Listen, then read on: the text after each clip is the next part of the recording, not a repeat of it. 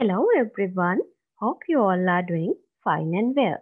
Today we are going to discuss the poem War is Kind by Stephen Crane.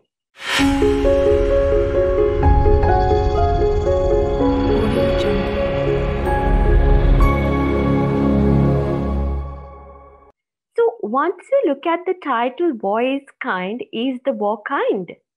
No, right? So war is something very destructive. It causes death, it causes trauma, it causes property damage. So most of us are painfully aware of the horrors of war, right? So once you look at the title of the poem War is Kind, the title itself is very ironic. Maybe the poet is questioning, is the war kind, right?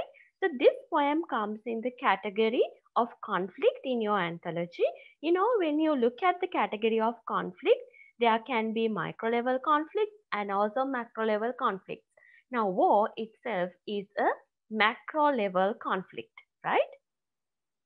Now, looking at the writer Stephen Crane, so Stephen Crane was an American poet, novelist, and a short story writer.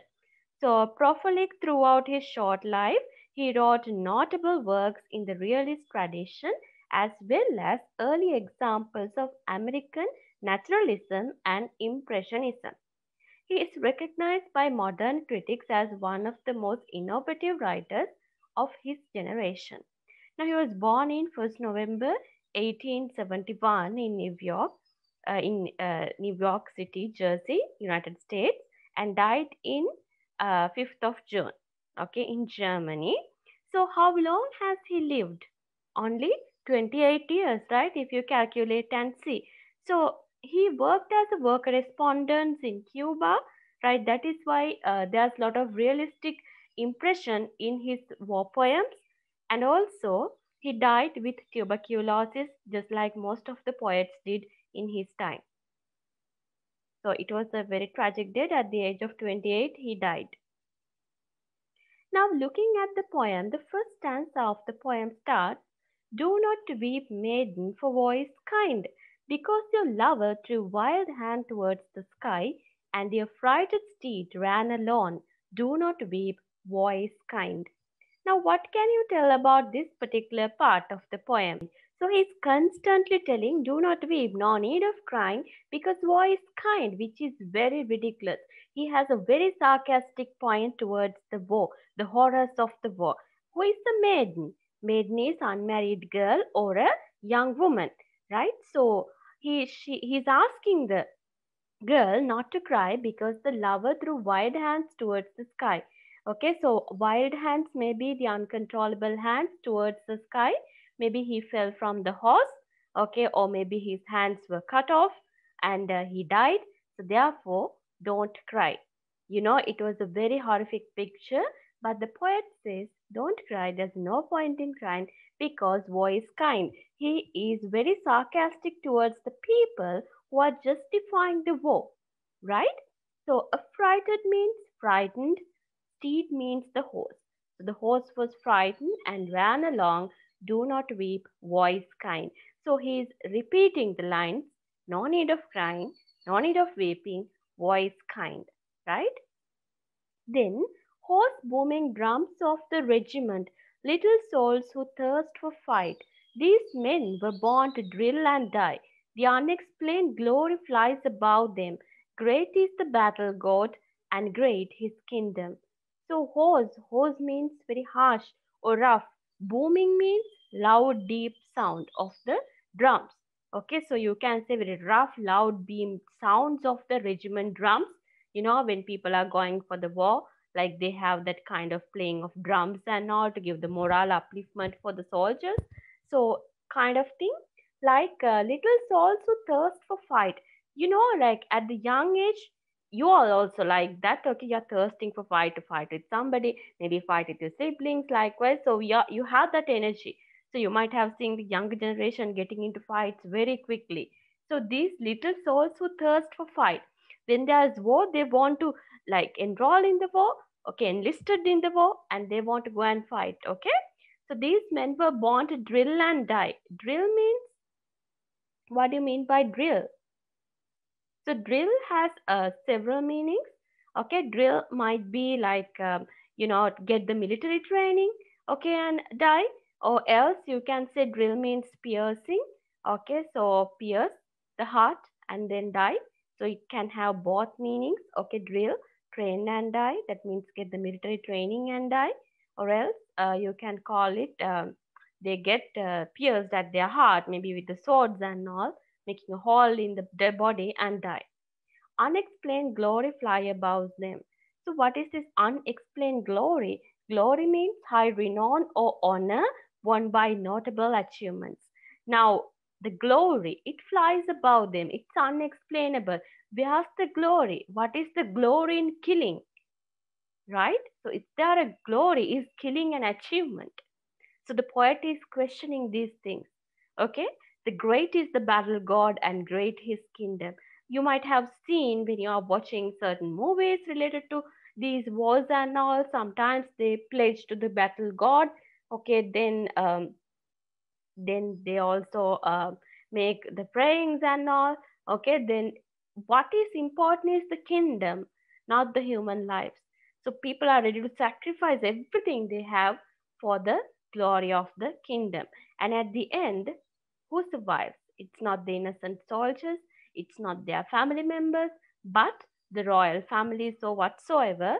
So they enjoy the glory, but not the commoners. A field where thousand corpses lie. Okay, corpses means dead bodies. Do not weep, babe, for boys kind. So, how can one not weep in a field where thousand corpses die and lie?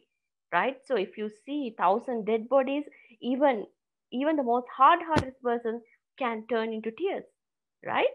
Because your father tumbled in the yellow trenches.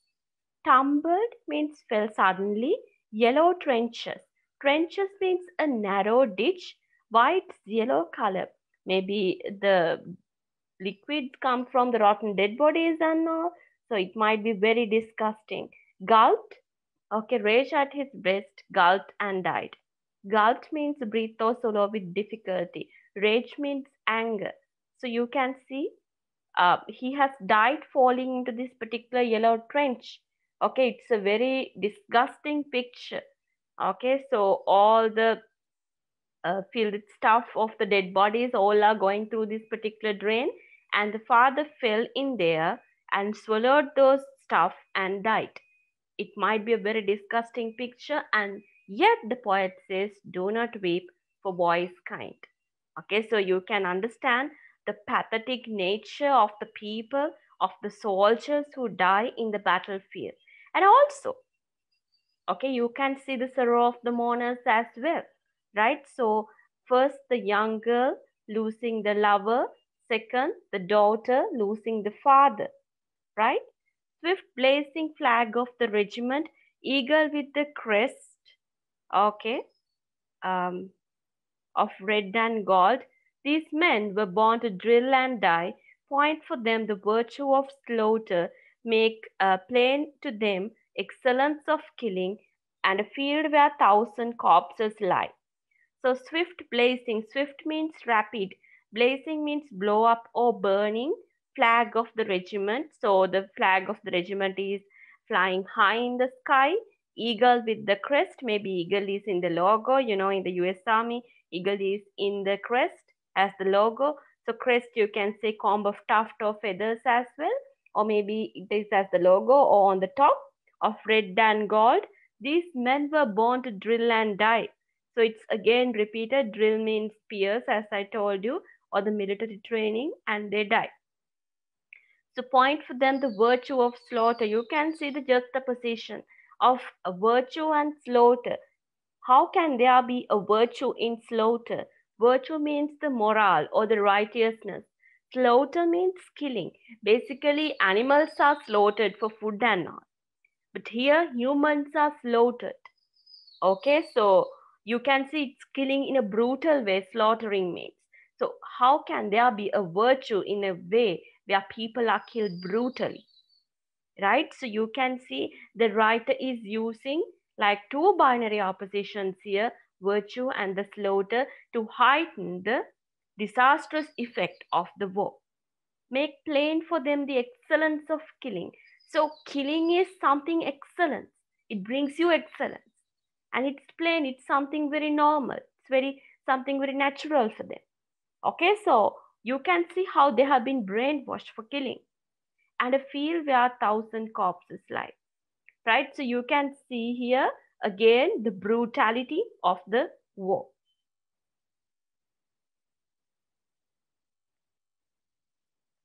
Then a thousand, uh, a field where thousand corpses lie, mother whose heart hung humble as a button. Have you seen, like when a button is about to fall from your shirt or a blouse, how it hung with the small threads and all? So, likewise, the mother's heart is about to come out with the pain. Okay? So, as a button on the bright, splendid shroud of your son. Splendid. Splendid means magnificent or marvelous. Shroud, a cloth which covers the dead body. So, what's the point? What's the point here?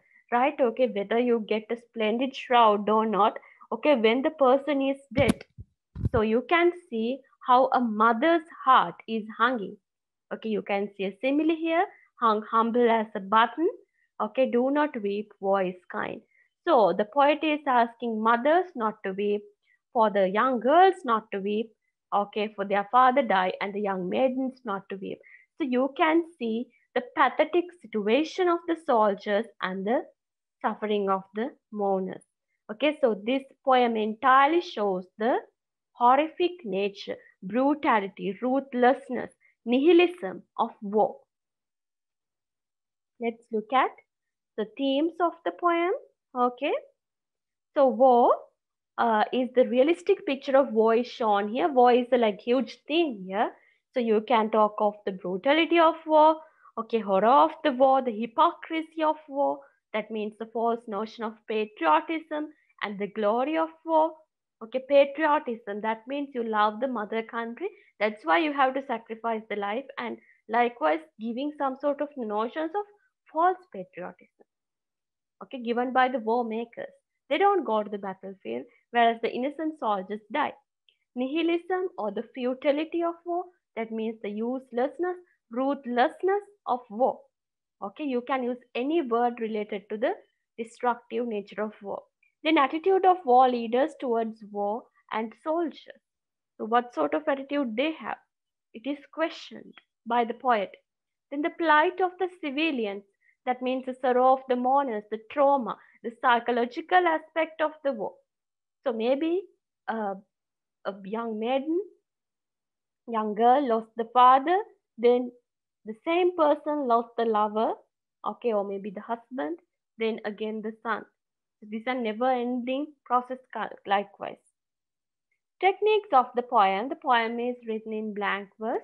So no rhyming. You can see stanzas are irregular in style title of the poem is very ironic. You can see a lot of repetition in the poem and the juxtaposition of the poem heightens its effect.